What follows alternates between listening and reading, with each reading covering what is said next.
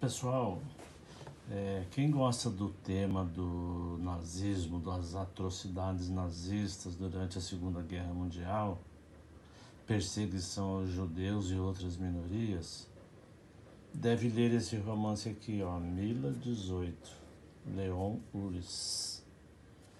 Esse livro é um dos melhores sobre esse tema.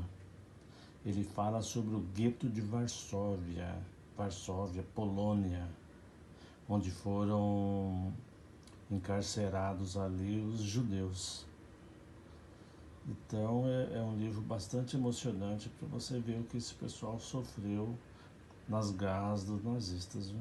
Existe também um filme sobre isso. Sabe quem que habitou esse gueto de Varsóvia?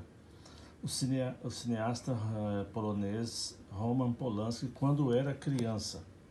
Ele, pai e mãe ficaram aqui. Os pais morreram e ele conseguiu se libertar desse gueto de Varsóvia e se tornou um dos maiores artistas do século XX.